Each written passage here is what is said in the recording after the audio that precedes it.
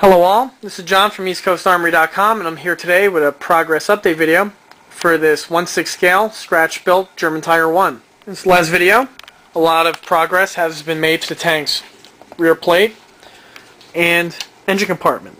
Start with the tank's rear plate. We can see that pretty much all of the detailing on the rear portion of the vehicle is now complete. This includes the sheet metal fenders, which are the initial type.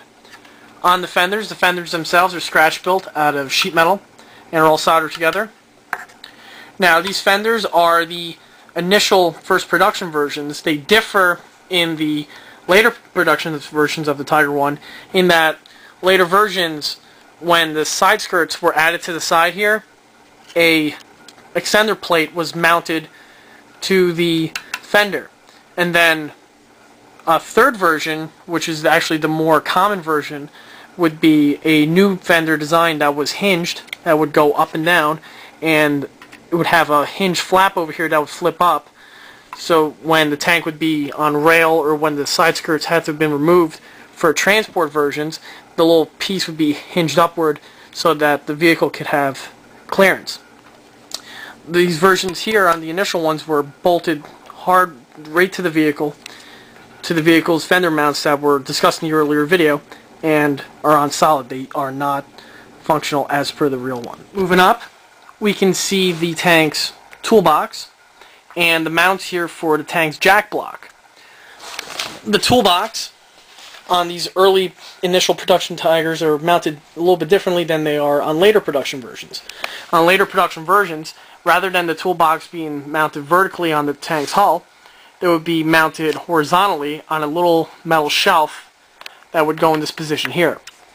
The straps on the initial one are secured in place via wing nuts and on my model I made it functional. There's the toolbox there. Over here we can see the mounting system. There's uh, two brass angle supports. Everything is all soldered together. And when mounted to the model, weld beads have been added. The weld beads act as both uh, detail element and also help secure the component to the tank securely. A similar setup was used here on the jack block mount. The jack block mount that you see here is right off the East Coast Armory.com production line and is used um, for King Tigers, for the jack block that are found on the Armortek King Tiger. It too is also functional. The jack block will be fabricated later once the tank is uh, nearing completion. Moving our way to the tank's jacks, we can see that the jack mounts have been added. The jack mounts themselves are resin and are straight off the EastCoastArmory.com product line. The jack mounts are fully functional in that they will secure the jack to the tank and open up as they would on the real vehicle. Over here we can see the wing nut that would secure everything together. This part here would hinge downward and the top part here is also hinged. The jack mounts securely right in this position as follows. Moving up from the jack mounts, we can see here the initial Tiger 1 antenna base. On the initial production Tiger 1s, the intent was to have the antenna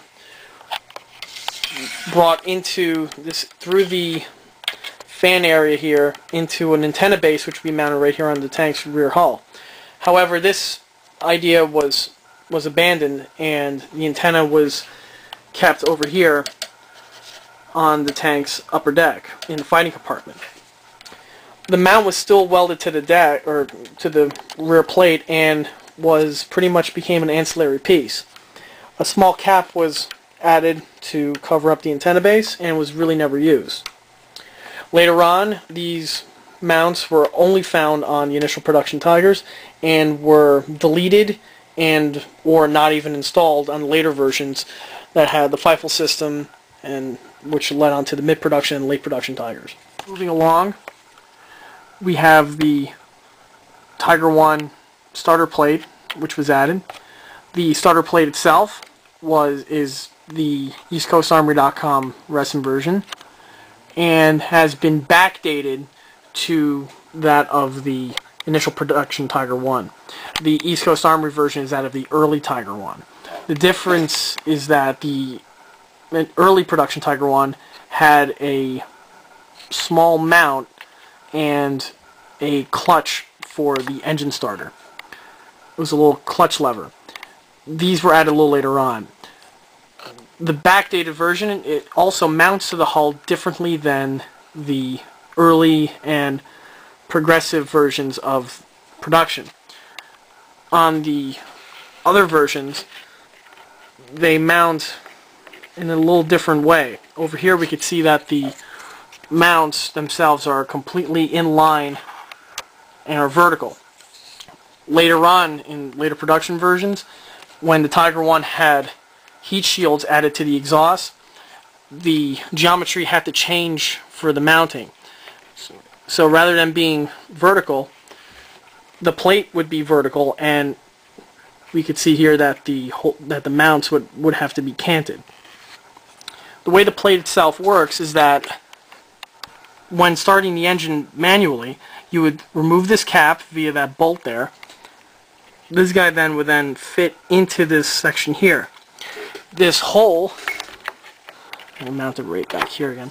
This hole that you see is the guide for the starter crank, which would be inserted into this hole, which I will demonstrate with this scrap piece of uh, brass or resin. It would be inserted into the hole, and there it would plug into the into the, the starter, and you would actually turn the engine over. Only, obviously, it would be down here. These two electrodes here is how you would be able to hook it up to a battery to or uh, to jump start it and uh, you could actually jump start the engine via these two electrodes.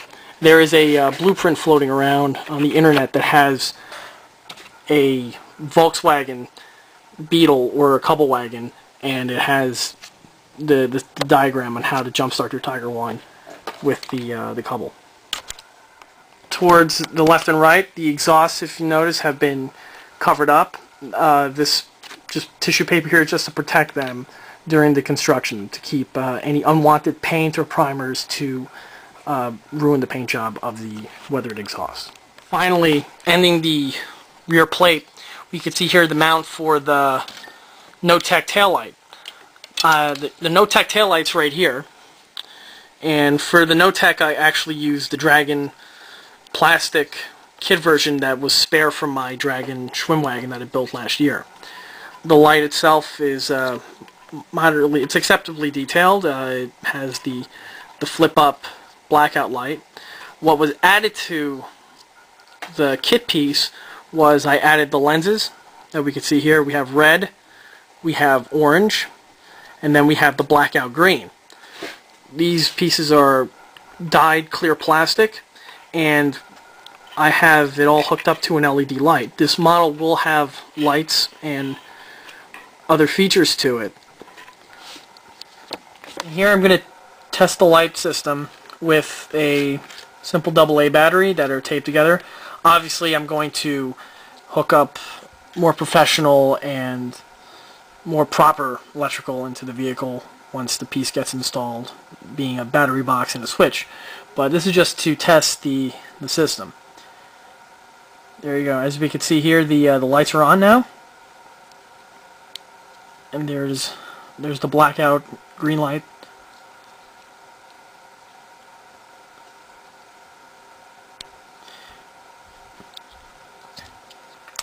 For the conversion, what was simply added was a small LED, and the LED was actually ground and turned down on the lathe to make it fit inside the small little cavity here.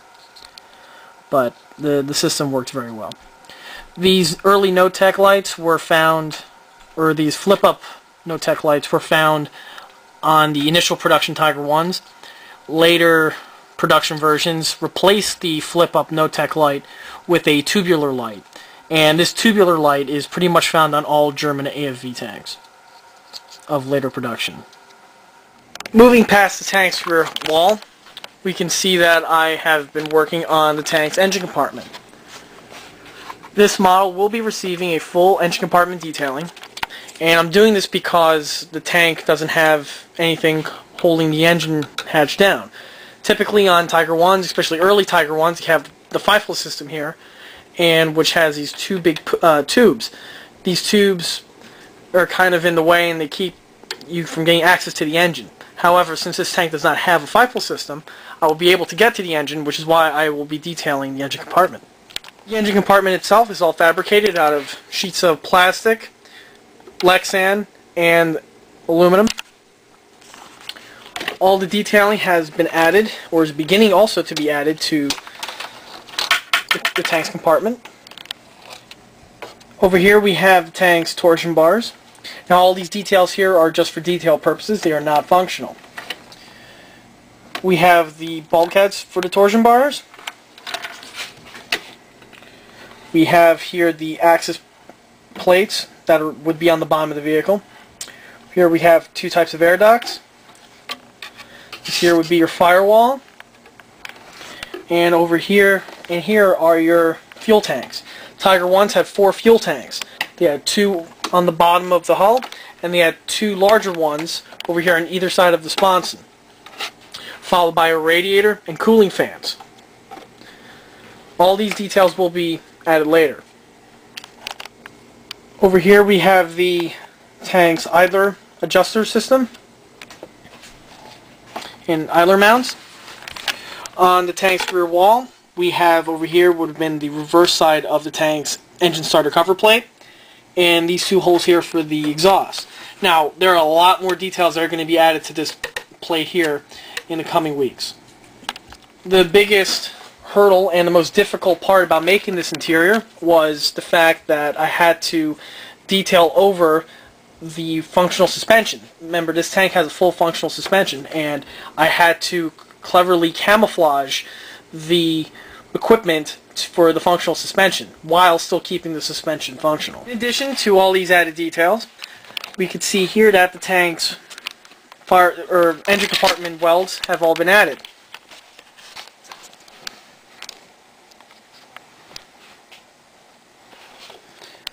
The welds, as I mentioned previously from my other components, add uh, a detail element, but are also used for structure.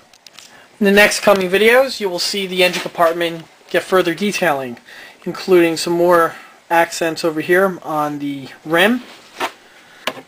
The rear wall is going to get its exhaust cooling ducts, and the tank will be getting its snorkel storage tube as well as a drainage, a drain water spout right here on the bottom of the hull. In addition to all the details to the compartment itself, I will also be fabricating the tank's fan and radiator systems. This will all be in the next video. And that concludes this project update video for this 1/6 scale static scratch build German Tiger 1. Stay tuned for more progress videos and more detailed components. And don't forget to check out eastcoastarmory.com. Thank you.